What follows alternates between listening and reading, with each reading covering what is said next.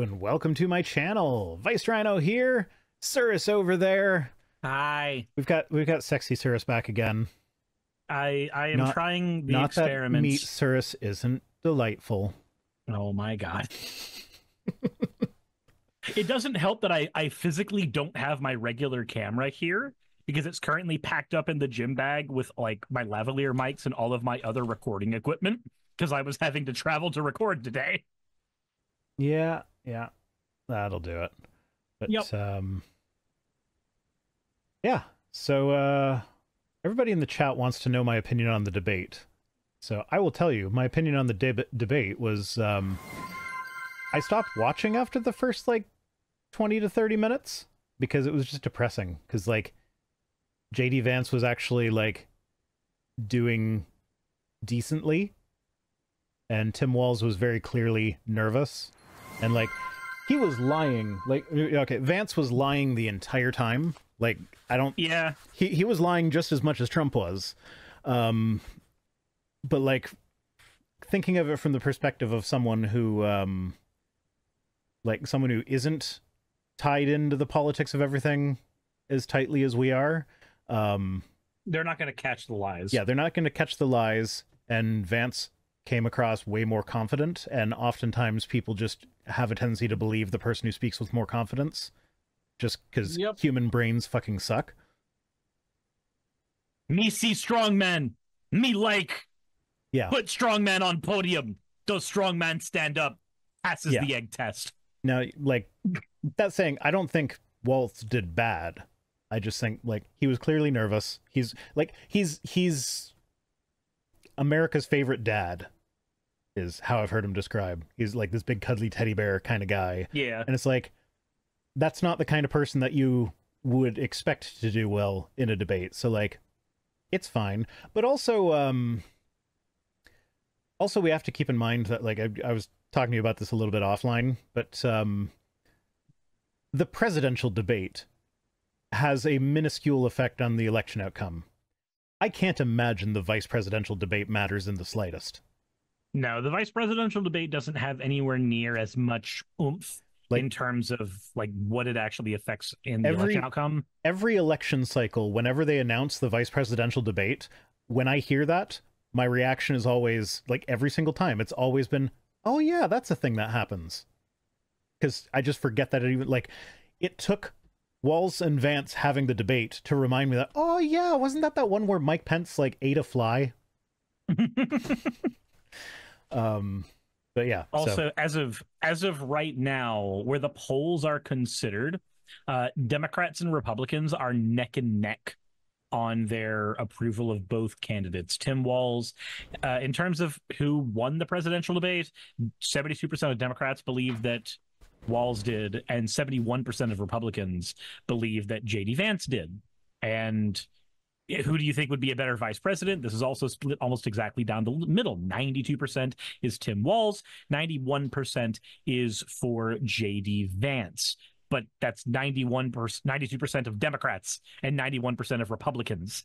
So we see an almost even split and a bipartisan split here. Whereas when Trump had his debate with Harris, you saw damage control yeah. happening everywhere in the Republican Party. This one, we're actually seeing an even split amongst the parties where both parties think my guy did better. And that's basically a return to political norms. Yeah, it's a return I think my guy won because he said the things that I agree with in advance. yeah, uh, in advance for JD Vance.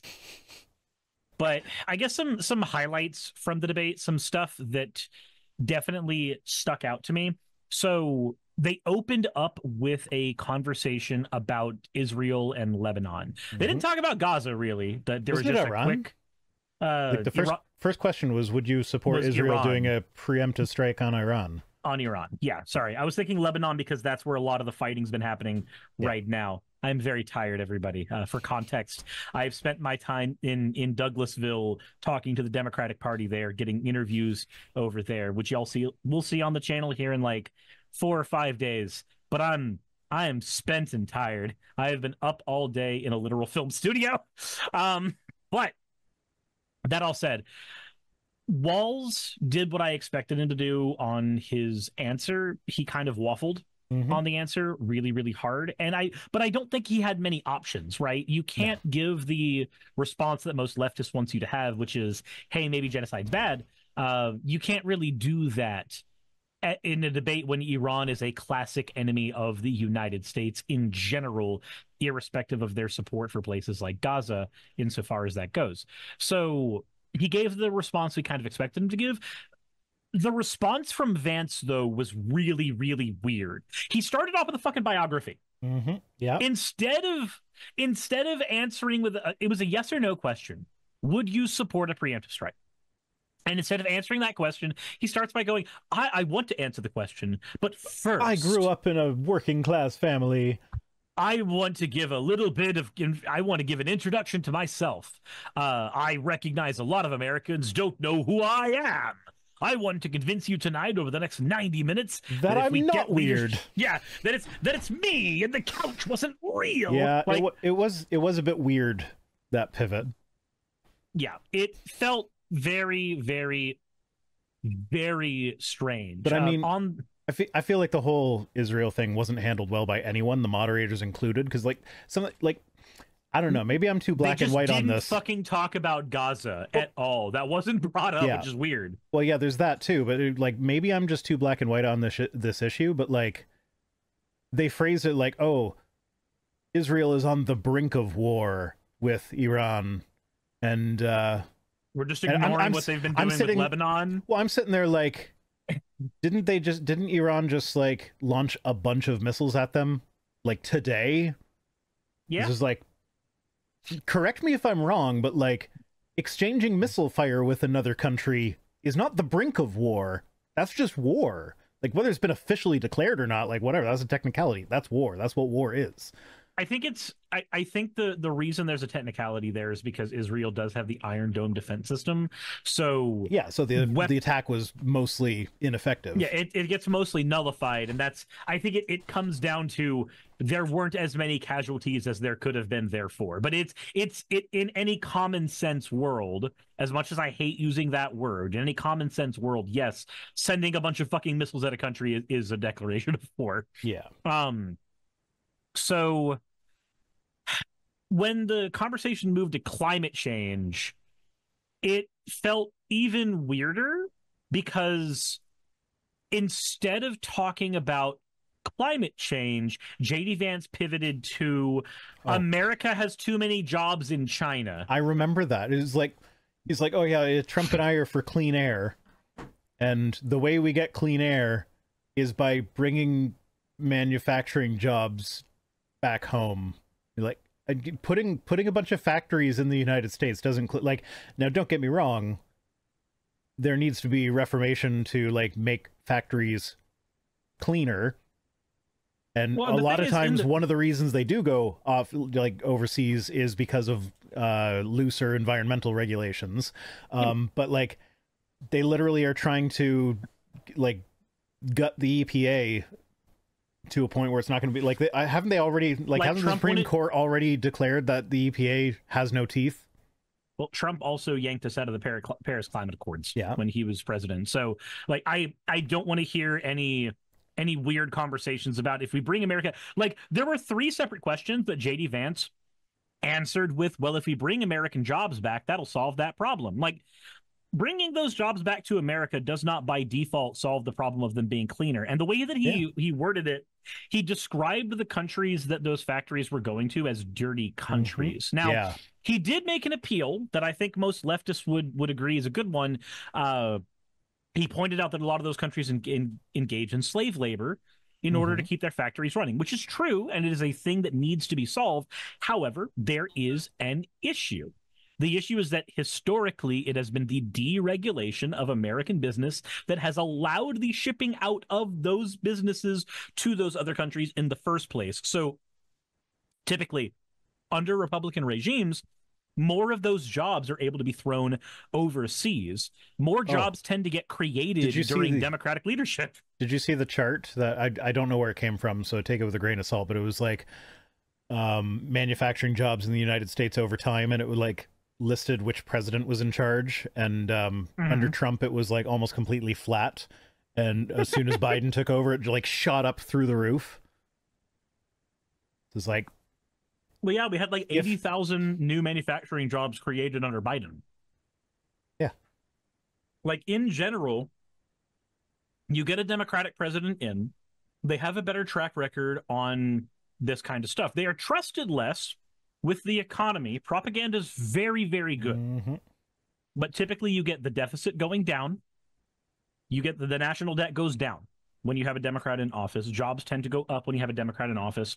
Um, so it's very, very weird that that Vance pivoted so hard on that every single time, especially when it had nothing to do with the question. Now, the, the part about the debate that I think swung it around, though, and it was the part that all of us were kind of waiting for with bated breath. It was when the certification of the 2020 election came up as a, a point of question. Asked to JD Vance, you know, hey, you said you wouldn't have certified the election. Uh, you would have made another magical pull out of your ass way of getting the election certified. Uh, so do you stand by that? And JD Vance waffled on that, and then Tim Walz pressed him and said, "No, hold on. Do who, do you think that Donald Trump lost the election?" I did see that clip. And JD Vance responds, You're focused on the past. I'm Mhm. focused on the future. And Walz immediately did exactly what he was supposed to do. He picked up on that and went, That is a damning non answer. Yep. That is a very damning non answer. And he, I think that moment of the debate is when things turned over in Walz' favor because he was able to point out, hey, you should be able to have confidence in your American elections. This is not how you inspire confidence in the American election system. This is how you sow chaos. Yeah. Um, I would just like to point out that my uh, Twitch chat has decided that uh, Shady Pants Vance is a nickname for him now. Shady Pants Vance. Yeah. There've been multiple Okay. people kind of settled on that. They're having a little conversation about that, and like, I I approve. I think that I think that fits. Yeah. Also, uh, one thing that Walz did very good later on in the debate as well was point out, and this is where I think it, it comes down to a unique aspect of how this debate goes. Because the both of the vice president picks, one is not looking at an incumbent president; they're looking at a vice president who is trying to become president, and the other one is looking at a previously incumbent uh, president. So when we're talking about the policy issues that each person failed on, most of the things that you throw at Harris are actually going to stick to Biden Yeah. and not Harris. oh but yeah. most of the he- things you uh, yeah. I, I did notice that in the part of the debate that I did watch was that every single answer was like, "Well, Harris has been in power for four years. How come she hasn't done anything?" And of like, course, no, she hasn't. She's been a vice president. Yeah, and it, like Tim Walz can't respond with, "Well, the vice president doesn't actually do anything except cast tie-breaking votes," because he's arguing that like it's a super important job that I would like you to hire me for. So you can't just Yeah. you can't go into the job interview saying this job actually is nothing. Um, yeah, but you, you can't do that. So like when but like when- that, that is it is the case that Harris has not been in charge of this administration. She's the backup if something happens to the old man. when uh when pressed on each of these issues the common refrain that can be given and and walz did not give it often enough because again he, he was not in a position where he could is that that's not a harris issue that's a biden issue yes harris shares in that but that's like saying She's, that she's not the one driving the boat right now. yeah, she's not the one driving the boat. She is the one shoveling coal into the engine, hoping that it's going in the right direction. Whereas when Walz got to talk about policies that Trump failed on, he got to say things like Donald Trump had four years. He had four years to build you a big, beautiful wall and make Mexico pay for it. And less than 2% of that wall ever even got built. And Mexico didn't pay a dime towards it. But here we are again, nine years afterwards and y'all are doing the same dehumanizing song and dance trying to get this thing built that's not going to solve the problem and wasn't Okay. even built the first time when you promised it Drew Harrison says the VP also chairs the Senate. Is that why? Is that why Vance is going for this job? He just heard that there was a chair Sure. involved. oh my god there's a chair Someone's got to tell him. Maybe he'll drop out. It's like that's not what chair means in this context. also uh, Walz again, this is in the latter half of the debate where Walz is performing better. J.D. Vance tried to say that uh, Donald Trump was one of the best bipartisan presidents that we've ever had, and I Oh, think that's ca- and I think that's it's it's carryover from Biden rhetoric, right? Because when Biden got into office, he fought very very hard on the platform of I'm not a Democratic president, I'm an American president. That was a that's a thing that he Yeah. ran on that Trump stole retroactively. And I think JD Vance Oh. during his debate prep, Trump takes so much credit from both Biden and uh, Obama. Like good things that happened on either end of his presidency. He's just like, yeah, note that was me. I did that. it was me, not Obama. So when he tried to bring that up, that you know Trump was so good on bipartisanship, Walz was able to point out that Trump's you know one of the major things Trump did was kill a bipartisan immigration bill. Mhm. one that like it, it just went to his office and Trump killed it despite both sides agreeing on it. Um, and Walz then goes and says, you know, we could have come together and solved this issue. But Donald Trump decided that it was better to continue to make it an issue because he'd rather run on the issue than solve the issue. And drilling into that really, really hard, I think was a very, very good strategy. It definitely helped pivot him better in the latter half of the debate when it, it really did not begin that great for him. Also, Walz owned the Christian audience uh, very, very quickly. yeah. uh, he brought the, up Matthew- the Matthew 25 Yeah, thing. 2540. Yeah. When he brought up Matthew 2540. So that was another very, very good thing for him to do because and he did it preemptively. I'm glad he didn't Mhm. do it as a response because when Biden does this, typically he has to do it as a response bring up his catholicism as a response to somebody saying this isn't the christian thing to do or whatever tim walz was able to bring it up immediately and go i'm going to head this off at the pass that was a good that was a good strategy thing for me i did Yeah. appreciate that even as an atheist but looking at this from the majority of people in the United States are still Christian. This is the strategy. These are the people that you need to convince to vote for Hello. you. Oh. God fucking damn it. Rosina says, uh, "Didn't you hear Trump capped insulin prices at thirty-five dollars?" That's one of the policies that I was talking about earlier. That came. Um, that one was Biden, right? Yeah, the thirty-five dollar one Yeah. is Biden, and then uh, uh, Harris is running on a continuation of it that will also include a two thousand dollar cap on medicine and an eight hundred dollar decrease in yearly uh, medication costs or yearly uh, insurance costs. Have y'all considered just doing single-payer public health care for all? So we have the Democratic Party has tried to run on that once, and that was when Bernie Sanders was a primary candidate. That was one of the things he ran on, and uh, we can mince words about Bernie getting screwed by the Democratic Party. Um, I I am perfectly willing to accept that that is one of the things that probably happened, but. Uh, as of I- right now, I yeah, think I the feel- party I feel like in the climate at the time, even if Bernie hadn't gotten railroaded by the party, which I'm not denying that he did, but even if he hadn't, he probably wouldn't have won that election. Yeah, I, I think that the I think the Democratic Party at large, as much as I hate to say this, I think they see that healthcare is an issue that people care about, but they care about it within the confines of what they understand, and they understand the insurance market. They don't understand single payer, which is stupid. It's insurance that's way fucking cheaper. it I, under, we've, we've I discussed it, understand. we've discussed this here before. I pay Yeah. seven hundred dollars a year for my family of four. Yes, I know I Yeah. have, there's seven people in my family right now, but because we file our taxes separately, that's I don't pay for her health care. Yeah, well, like, I- but I do I because that's how you. taxes work. Yeah, I agree with you 100%. It would be a better system. I think that the Democratic Party as a whole right now are choosing not to run on that, but to run mostly on abortion, which they wouldn't have to run on if they codified it. Turns out Democrats actually took some pretty good strides in codifying uh, Obergefell.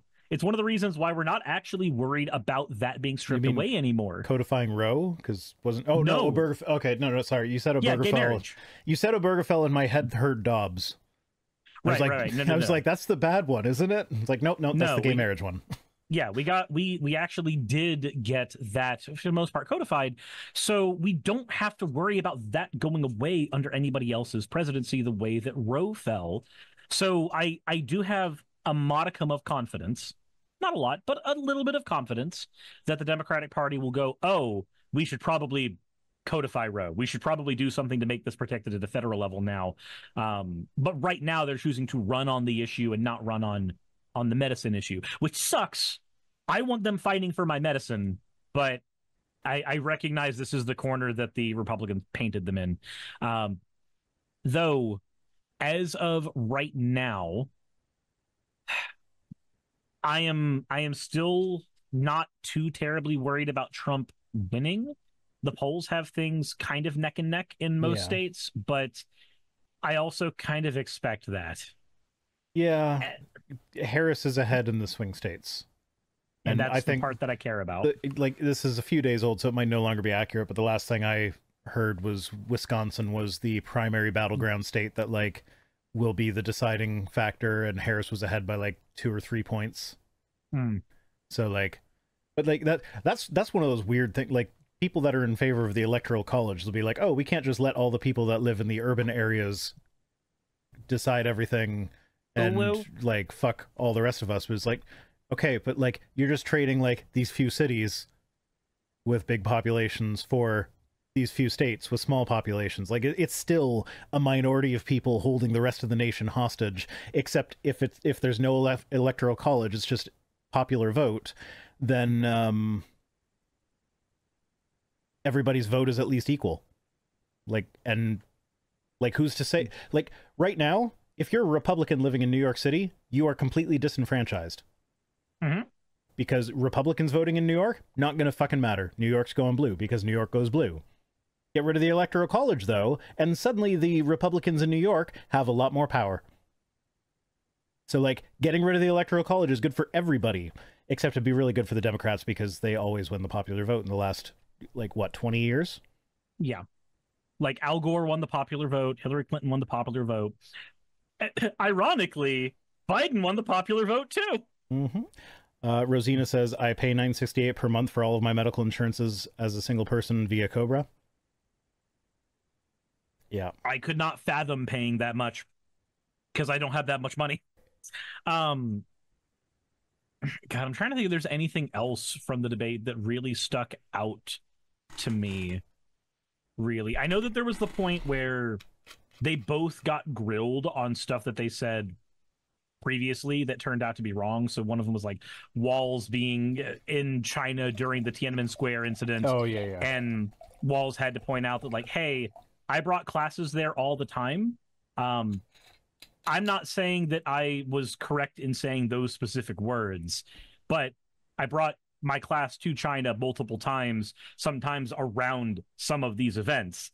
Yeah. That's not the same thing as me being there during the event. I understand, but like that was his position there. And then uh, for Vance, when Vance was told, like the directing afterwards was Vance being told, "Hey, what about you with your words you said about Donald Trump?" And he just started off by going, "I was wrong. First of all, I believed what the media story said about Donald Trump, but they were all fabrications. Donald Trump delivered for the American people." Uh, when they when He's they got back to sellout.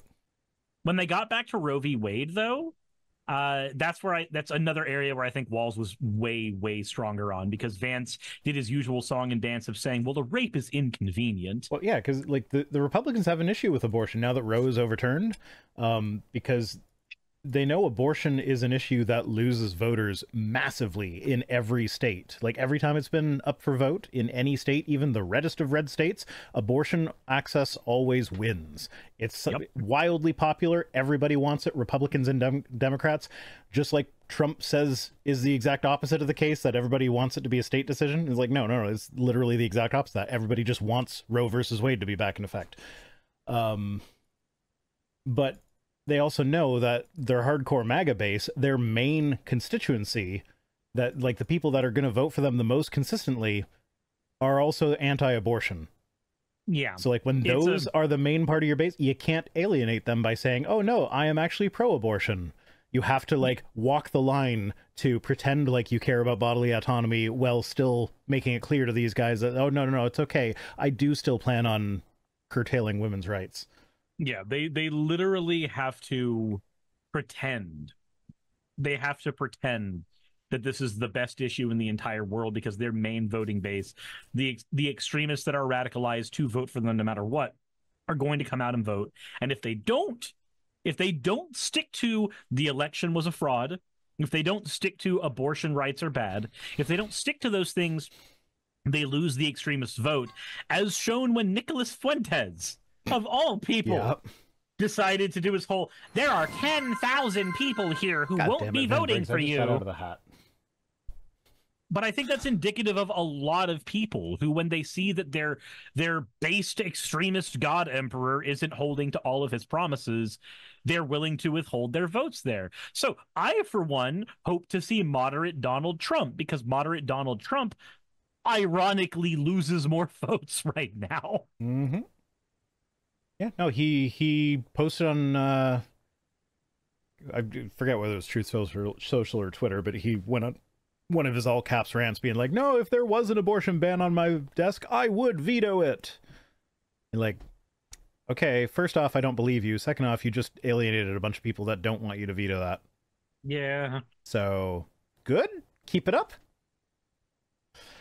Um anyway, I'm a little bit annoyed at how well that subject would transition would uh segue into our first news story because we haven't gotten to the news items that we're not covering yet.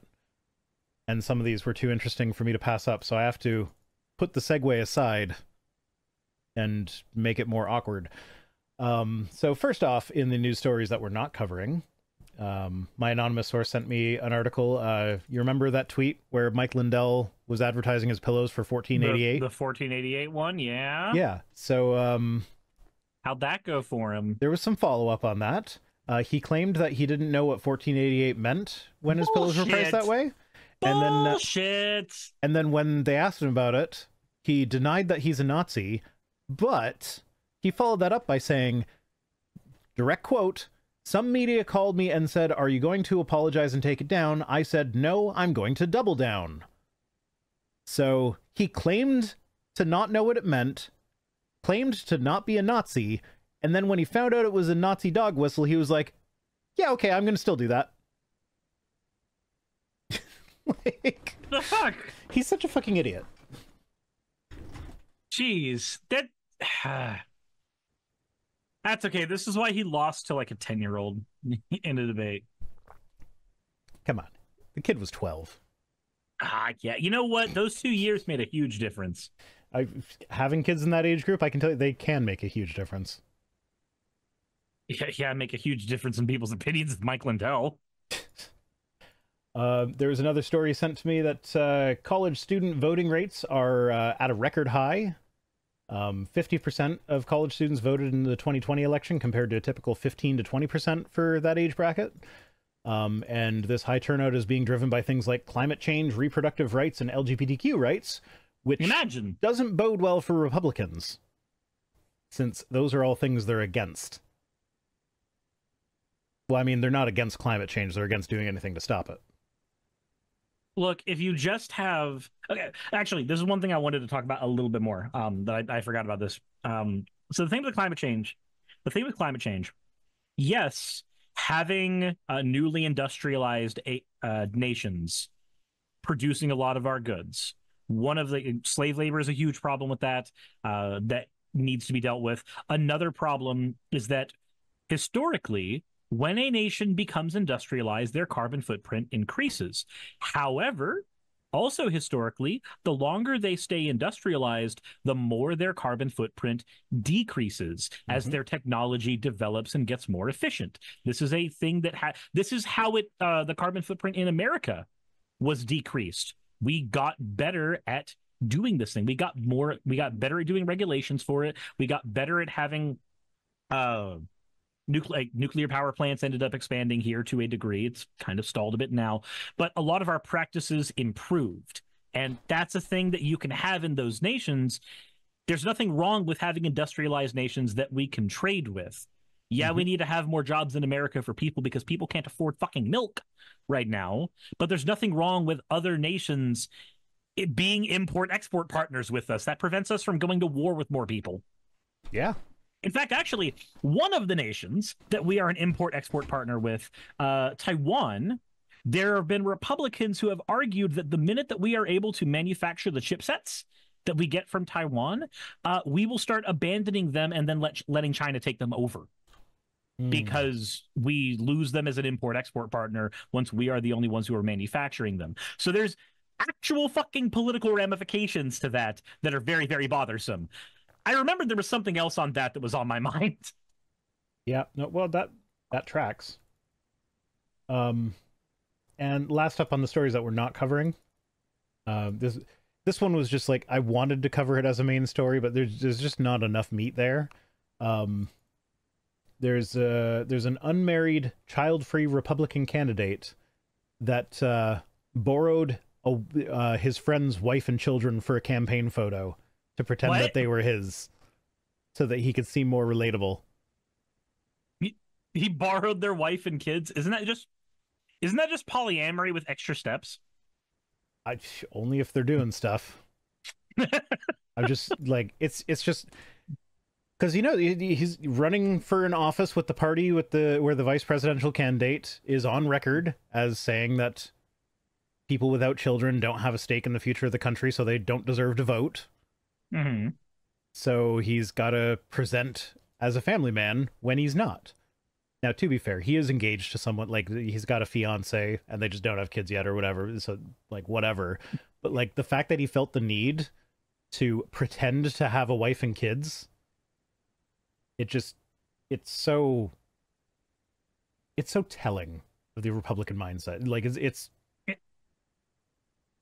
It's it's weird. Okay, so like they don't, they don't care what- about the substance. They just want the appearance. So like when I was talking with the the Democratic Hello? campaign, uh, when I was talking with the people in Douglasville who who are in charge of that on both the local side and the Harris Walz side, every single one of them, I referred to my channel. Hey, this is the channel where I'm going to be doing stuff. I normally use a VTuber avatar. I talk with people through that avatar a lot, and it gives me a niche audience that not a lot of people end up reaching to. And irrespective of the fact that that avatar was brought on after years of other stuff happening, there are still people who came here for the avatar first, weirdly, and then stayed for the politics. Which you is say a- weirdly, but I know your audience.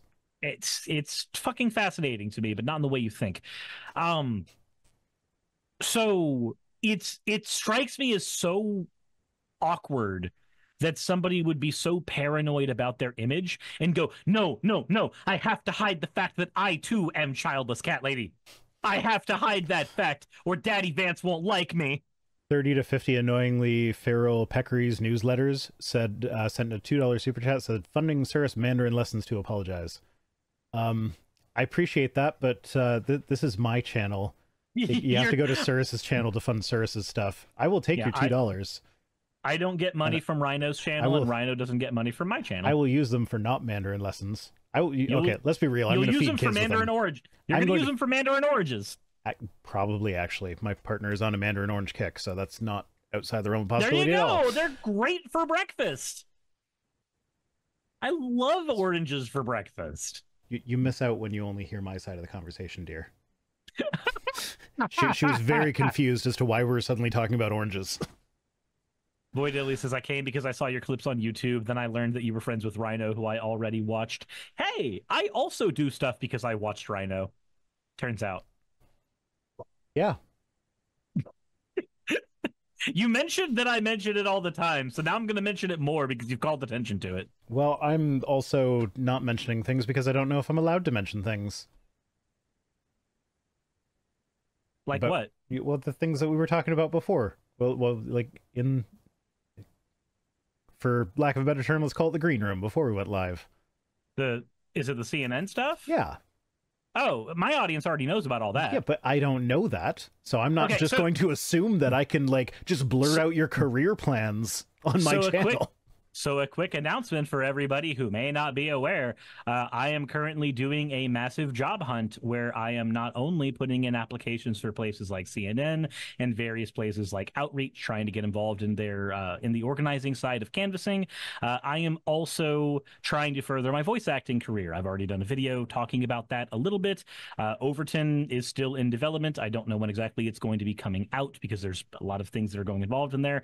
Uh, but I've also taken on a producer role uh, for part of the development of Overton for some of the merchandising for it, so that I can get experience doing that as well, so that my resumes look better. I've also, like I've been saying, uh, been talking with the local people who've been running uh, some of the Democratic campaign stuff. So uh, this Monday, I will be doing a stream with the Georgia representative of District 3 to talk about Project 2025. Because while my project on Project 2025 has stalled because I've hit the wall where my expertise just isn't there.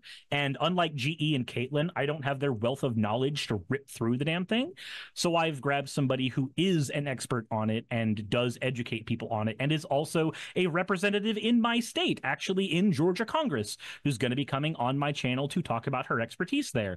Uh, I also have a video coming out soon where I'm talking uh, uh, to uh, Chairman Kelly, who used to be one of the chairmen in Douglasville, Georgia. So I'm getting interviews with people Okay. who know more about how this shit works. There, So- cool. Now everybody knows everything. So, um, yeah, just in in my head, I'm picturing like I know you like when you have your congressional person on, you're I imagine you're going to be in Meat Space Suris. I'm going to be in Meat Space Suris, Yeah, 110%. because like I was like um, just imagining like a serious politician popping onto the stream, and they say you in your cat girl titty outfit, and me in my wizard hat. And I'm just like, that's a good way to never get a politician to come onto your show ever again. 100%. That, that is. That is a way of doing that.